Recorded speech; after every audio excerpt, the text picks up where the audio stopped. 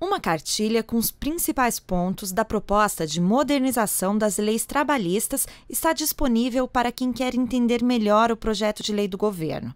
Segundo o ministro do Trabalho, Ronaldo Nogueira, a ideia é explicar todas as mudanças. A cartilha tem o objetivo de explicar ponto a ponto da proposta para assegurar ao trabalhador que os seus direitos não serão revogados.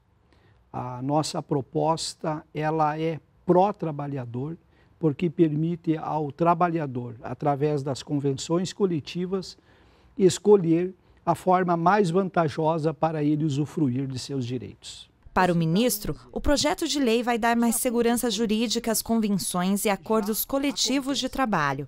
A cartilha explica 13 pontos, como férias, trabalho remoto, seguro-desemprego, participação nos lucros e banco de horas. Os principais tópicos da cartilha vêm orientar item a item da modernização da legislação trabalhista, principalmente naqueles aspectos que dá força de lei à convenção coletiva.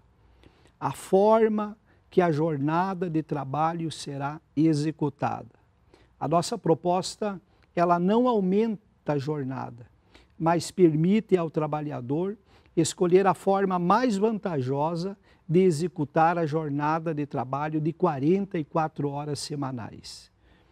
Também a nossa cartilha explica como a convenção coletiva poderá deliberar a respeito da representação do trabalhador por estabelecimento de trabalho, sobre o programa de seguro-emprego, como os investimentos na faixa de 327 milhões de reais, expandindo-se também para as pequenas e microempresas, nós poderemos preservar o emprego em 2017 e 2018 para mais ou menos 200 mil trabalhadores. A cartilha, com 26 páginas em formato de perguntas e respostas, está disponível na internet, no site do Ministério do Trabalho. O trabalhador também pode requerer o material na sede do Ministério ou nas superintendências regionais da pasta.